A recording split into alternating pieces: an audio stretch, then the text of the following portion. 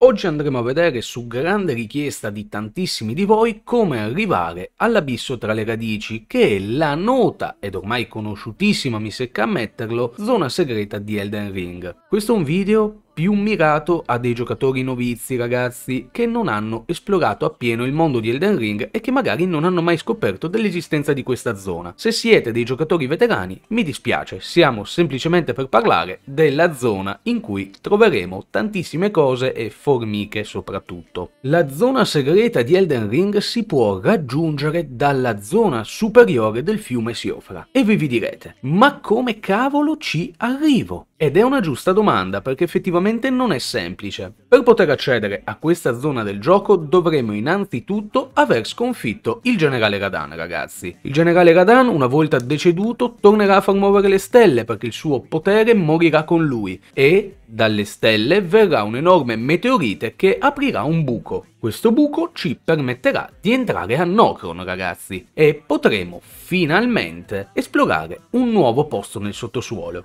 Una volta giunti alla battaglia del boss Lacrima Riflessa ragazzi che è semplicissimo da battere con un semplice trucco fatemi sapere nei commenti se volete effettivamente sapere come si può battere facilmente questo boss e a tal proposito ragazzi già che ci siete iscrivetevi al canale è gratificante per noi è di enorme supporto e a voi non costa niente e se volete supportarci appieno ragazzi qua sotto in descrizione trovate tutto quello che vi serve per super grazie ed abbonamenti e non dimenticate ovviamente di accendere la campanella in modo da rimanere aggiornati sull'uscita di ogni video. Una volta che avrete sconfitto la lacrima riflessa ragazzi il percorso da fare è quello che vedrete a schermo. Starà a voi decidere se eliminare la marea di nemici che si trovano nella zona oppure se decidere di andare avanti tranquillamente come ho fatto io evitando lo scontro. Dovrete procedere per tutto il percorso, non è lunghissimo, potrete affrontarlo su torrente. Io vi consiglio ovviamente se è la vostra prima volta in questa zona ragazzi di esplorare tutto, anche perché in questa zona, proprio come nella zona zona sotto del fiume Siofra, troviamo i falò da accendere per un eventuale boss fight. Ma lasciamo perdere l'esplorazione, quella vedrete voi se vorrete farla. Voi siete qua per il percorso e lo state vedendo effettivamente a schermo. Una volta che avremo davanti a noi la struttura dell'acquedotto, quindi una struttura che scende dalle rocce, come se costruita al contrario, tra l'altro bellissima da vedere, noteremo che c'è un percorso nascosto su delle rocce in basso.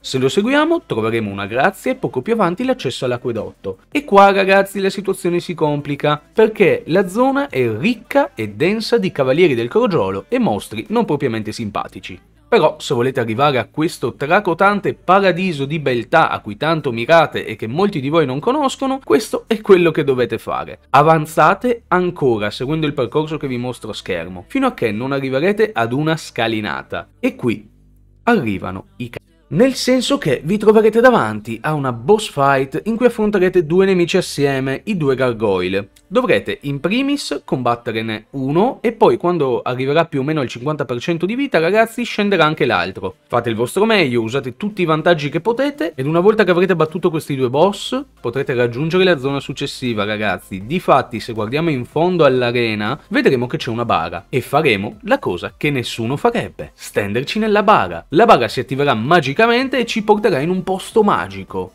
ossia la zona dell'abisso tra le radici ragazzi. Qui potrete trovare una farm di rune, che vi ho portato da poco, altre farm di rune complicatissime in cui il parkour è un must e che io odio totalmente, e ovviamente un boss davvero particolare e Seguirete così anche delle quest ragazzi. Non voglio farvi troppi spoiler, quindi smetterò qui di raccontarvi di questa zona, esploratevela, divertitevi e godetevela ragazzi. La vostra prima run in Elden Ring è l'unica e sarà sempre una magia scoprire nuove cose. Quindi Date il meglio di voi. Sembrerà brutto da dire, ma rimpiango la mia prima run. È stata ricca di emozioni che adesso il gioco purtroppo non mi può più dare, perché logicamente l'ho esplorato al massimo, ed avendolo esplorato sotto ogni aspetto, è diventato un peletto più monotono. Sempre bellissimo, ma non offre più la magia che offriva la prima run. Noi ci vediamo in un prossimo video ragazzi, voi non dimenticatevi di iscrivervi al canale, di lasciare un bel like ed un commentino con la vostra opinione. E se volete supportarci appieno ragazzi, troverete qui sotto anche